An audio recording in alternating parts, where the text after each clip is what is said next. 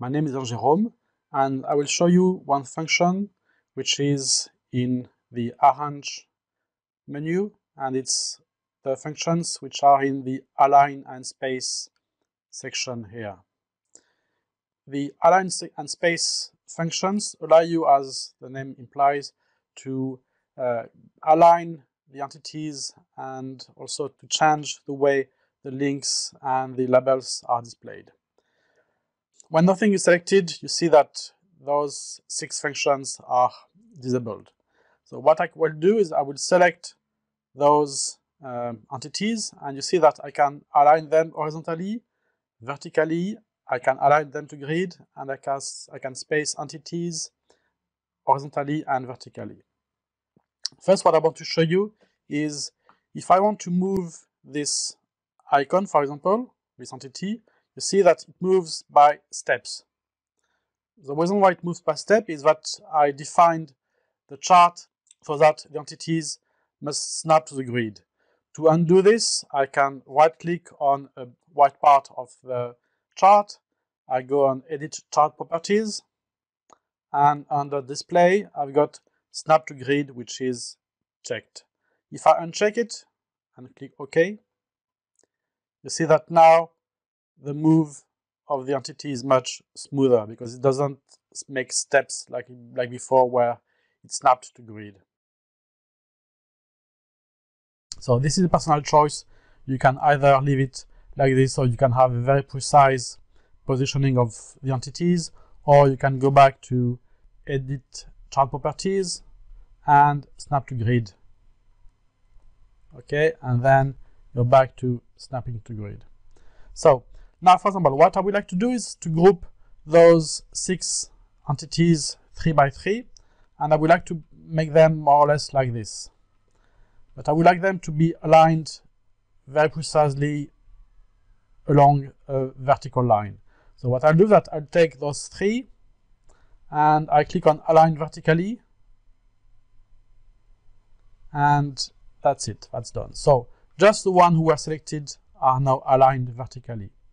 But still I want to do something more. I want to space the entities evenly because you see this one, this one, they are, they are closer than this one and this one. So still those three entities being selected. I will click on space entities, space vertically,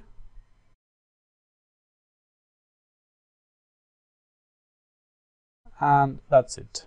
So now each of those three entities are aligned along a vertical line, plus they are evenly spaced on the vertical uh, space.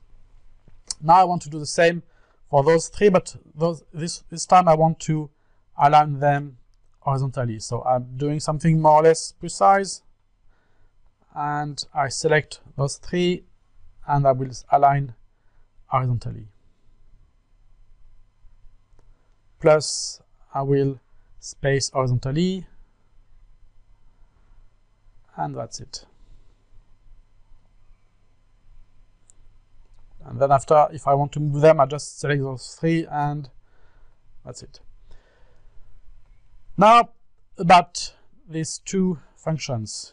Those two functions arrange links labels and compress connections. It's about links. So I put I already have a chart with lots of links. Uh, the problem you might have is if, as long as those two entities are aligned more or less in a horizontal line, the text can be uh, displayed correctly. But now if I take this one and I try to move it like this, you see that it's not possible to read the labels of the, uh, the uh, links anymore. So to arrange this problem, I will select the links and I will click on arrange link labels and you will see what's happening. The labels are moved along the link so that no text is overlapping each other.